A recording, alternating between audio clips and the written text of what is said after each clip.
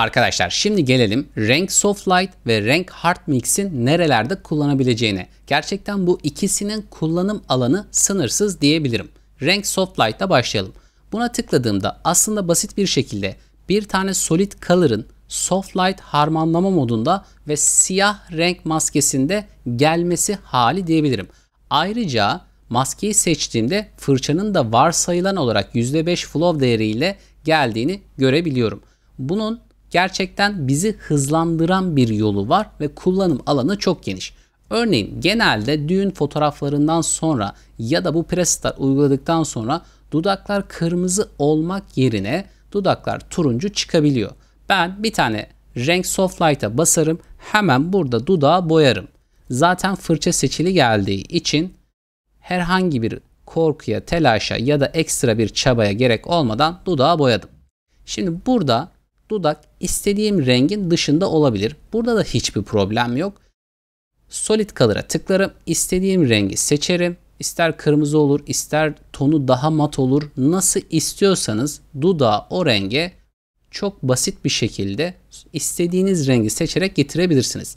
Şiddetini de opacity'yi aşağıya çekerek düzenleyebilirim. Örneğin şöyle uzaklaşayım. %60 çok duruyor bu fotoğraf için. %40 gibi bir değer bu dudağı canlı hale getirmek için yeterli. Örneğin makyajı tazelemek için de kullanabilirim.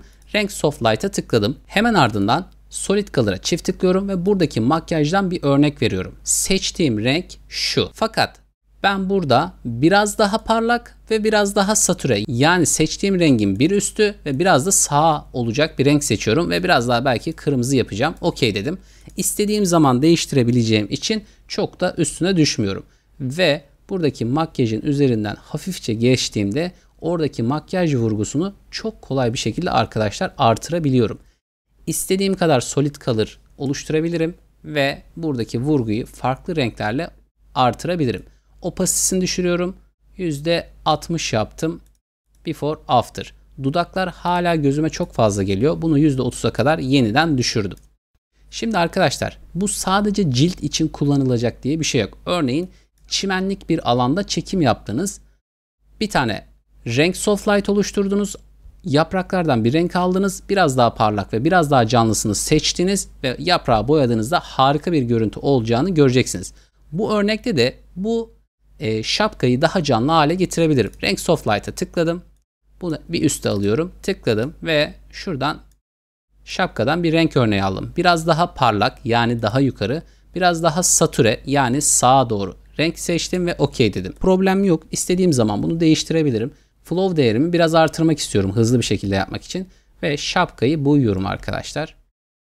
Burada azıcık saça gelmiş gelmemiş bunlar da çok önemli değil. Harmanlama modu soft light olduğu için altında ne renk varsa onu komple değiştirmek yerine ikisiyle birlikte karıştırıyor. O yüzden bazı yerlere değse bile sırıtmıyor arkadaşlar. Korkmadan bunu istediğiniz gibi uygulayabilirsiniz. Örneğin şu an çok satüre bir görüntü var. Opacity'yi düşürüyorum. Bunu %40 yaptım. Bakın şu an şapkayı da çok daha canlı hale getirdik. Satürasyonu yüksekse ya da tonunu beğenmediyseniz buradan istediğiniz tonu tekrar belirleyebilirsiniz. Before after yaptığımda fotoğrafta böyle sönük kalan dudak gibi, makyaj gibi, işte ne bileyim şapka gibi ya da etraftaki herhangi bir rengi çok basit bir şekilde renk soft light'a basın, rengi seçin ve boyayın arkadaşlar. Soft light harmanlama modu sayesinde Solid Color'la da istediğimiz rengi seçme esnekliği sayesinde ve maske ile istediğimiz alanı boyayıp geri alabilme yeteneği sayesinde korkusuzca istediğimiz rengi canlı hale getirebiliriz.